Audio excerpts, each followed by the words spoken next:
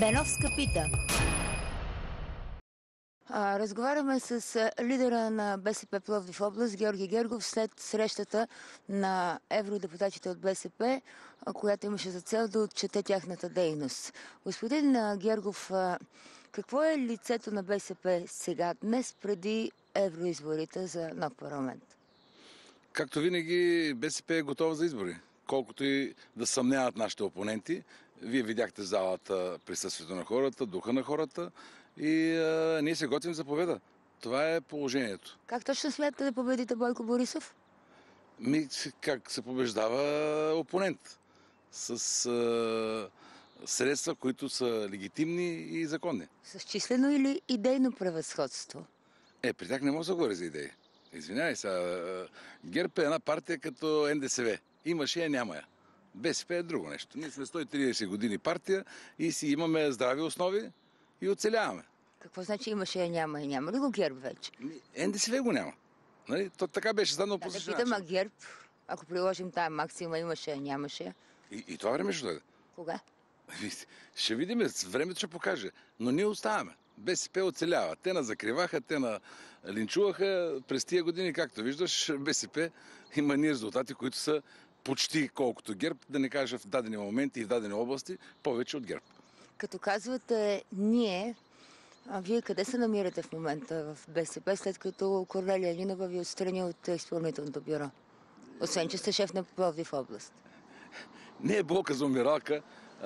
Аз се намирам в а, централното ръководство на партията, член съм на Националния съвет и знам какво трябва да направя и го правя.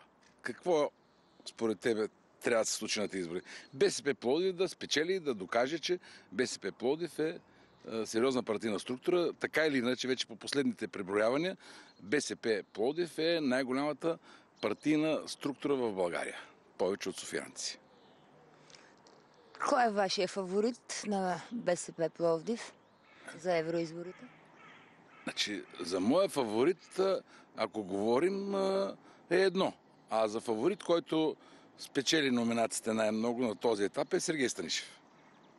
А Ирена вашия... Йончева е веднага плътно до, до него, след него. И а, тя листата е широка, голяма, близо 100 кандидати, тъй че няма смисъл да ги цитирам, но това е положението. А вашия личен фаворит? Моят личен фаворит го казах на конгрес. Сергей Станишев. А доколко тая И се победа... аргументирам защо. Да. Сергей Станишев е човек, който е доказал себе си в годините. Той е европейски политик, доказал, че може и аз вярвам в него. Да, за тези години, в които той участва в управлението, сигурно има негативи, които в този момент неговите опоненти ги използват. Но той е най-подготвения. И е просто смешно да се мисли даже, че може лидера на ПЕС да не е в листата или водач на листата. Тъй, че аз просто следвам логиката. Нямам... Тук аз съм всъщност бизнесмен, освен политик.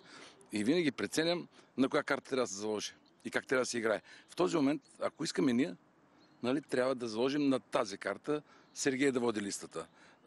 Моите опоненти ще кажат, ние ще загубим изборите, ако сложим Сергей да води листата. Тъй, че ще коментираме след изборите, но много е важно как ще се подреди листата. Много е важно това нещо и от това зависят изхода на, на, на изборите. Вие знаете, че като извадиха такъв кандидат за президент ГЕРБ, загубиха изборите. А ако следваме вашето твърдение, че БСП Пловдив е най-голямата по численост и по авторитет организация, това означава ли, че вие се надявате и на местните избори да излучите най-сетне кандидат за кмет, който да спечели? Значи, ние винаги сме се старали да излъчваме кандидат кмет, който да спечели, но това е Пловдив. Пловдив е, е различен, но в крайна сметка в областта ние винаги сме били на кантар с ГЕРБ. Даже в дадени моменти ги печелим повече. И гласове, и населени места, и кметства. Тъй, че е, много е относително и това какви кандидати ще изкараме на есен на изборите, но това е подготовката, евроизборите. От това ще се зависи какво се случи на есен, защото е, ние не сме далеч от е, логиката на Цветан Цветанов, който той ясно го изрази и каза от тук зависи атестацията, кой ще номинираме веднага след евроизборите за а, местните избори. Добре. Аз мисля, че този принцип трябва да въжи и за нашата партия. А не да гледаме отстрани и да чакаме нещо да се случи и да си, си потриваме ръцете, чакаме да дойде есента, за да ни номинират. Не. Тази битка решава следващата битка. Ако следваме тази логика, в такъв случай вие можете ли да ми отговорите и ясно на въпроса, загуби ли БСП, че Сергей Станишев вече не е лидер на партията? Не, това, това е съвсем различна тема. Значи, Сергей Снишев сам се оттегли.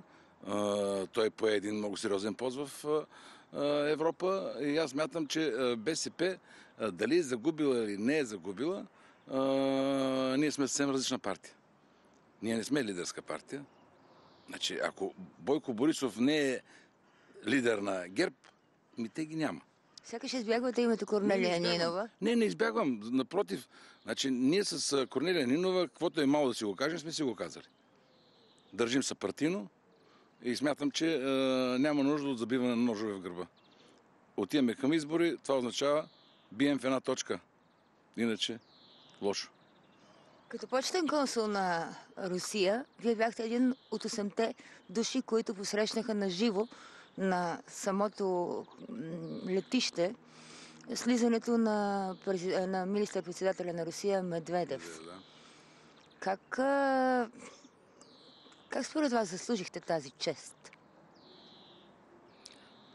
Вижте се, аз съм от а, трети мандат почетен консул на Руската федерация. Сте почетен гражданин на Русия. съм руски гражданин, точно с указ на господин Медведев. Когато точно той ми писал указа, точно тогава стана президент да бъда руски гражданин. А, и е нормално да бъда поканен в посрещането на господин Медведев. А, а, какво да ви кажа? Доно това, което се случва и което се говори, да се случи. Говори се, защото- че няма да се случи турски поток да мине през нас. Не мисля така. Не мисля така. Аз не Алексей мисля така. Милер, Газпром го заяви доста недвусмислено.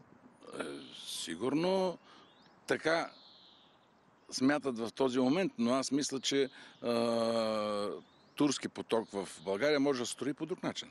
Как? С, с руската държава това не е само Газпром, има и много други фирми, които могат да изпълнят тази работа и е най-добре така да се случи. Не говори се, че Европа трябва да разреши. Ми Ще разреши Европа. Как мислиш, че Бойко Борисов не си опекал а, работата ли? Аз не мисля така. А за Южен поток защо не се разреши, не ни разрешиха? Тогава Борисов не си ли беше опекал работата? Южен поток а, беше а, доста интересна схемата, а, която не проработи на базата на доста заложени подводни мини. Тъй, че това ще се случи. България ще има и Белене, България ще има и а, Турски поток. Или Балкански поток, или както ще да го наричат. Но, но няма как а, а, Русия да не използва този момент на а, а, вариант, в който да, да не отклонява от Северен поток друга а, тръба, за да идва надолу към... А, да. Ня, ням, няма как да не се случи. Може да отнесе, времето. Две-три години. Може да не е в мандата на Борисов или на следващите, нали? но, но това ще се случи.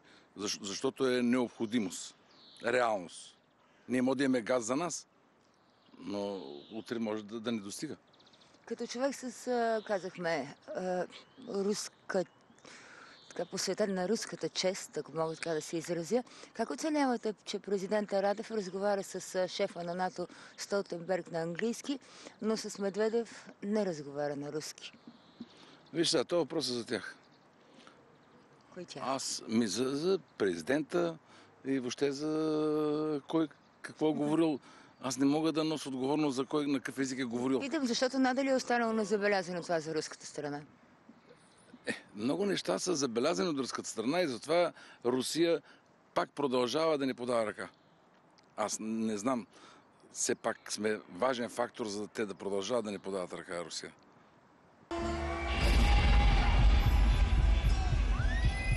Беновска пита.